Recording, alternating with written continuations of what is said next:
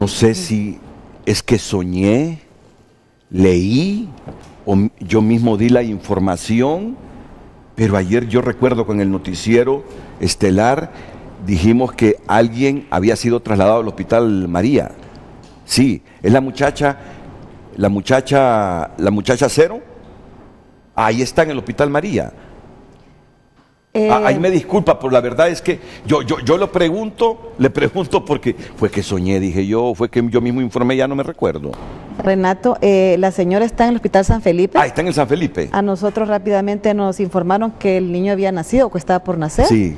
El hospital, pues con la ambulancia medicalizada que tenemos, fuimos a traer al bebé, que pesa 1.200 gramos. Ah, el bebé sí está en el Hospital María. Y lo tenemos pues ahorita en el Hospital María, en una sala de cuidados intensivos neonatales que tenemos, que hemos nosotros eh, hecho aparte un hospitalito que le llamamos coronavirus, donde estamos atendiendo recién nacidos, niños, y pues eh, por la epidemia estamos viendo adultos, que no es nuestra, nuestro fuerte, pero pues estamos haciendo el mayor esfuerzo para que la, la población tenga un mejor, una mayor atención.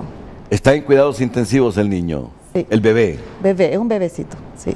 Pero no es que está complicada su salud, está bien. Bueno, tiene 1200 gramos, ahorita está, mm, ¿Cuánto es en Es- libras 1200 gramos, doctora?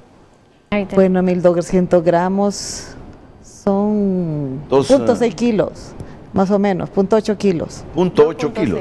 ¿Y en libras cuántos? Ahí me disculpan, pero... Ah, perdón, pun- no, 2.6. 2.6 libras, al revés, sí. 2.6 libras. Es, es, es un peso bajo, ¿verdad? Es bajo, bueno, relativamente bajo. El niño está en una unidad de cuidados intensivos, dado que si está malito, no está grave, no está para, pero sí está con, con, con asistencia con oxígeno. Es varoncito. Es un varoncito, sí.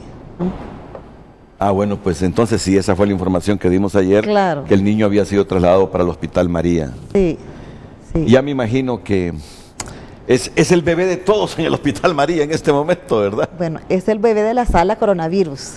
Es el bebé de la sala coronavirus. Sí. Muy bien. Bueno, a propósito, quiero que estén atentos también porque nosotros hemos lanzado unas propuestas.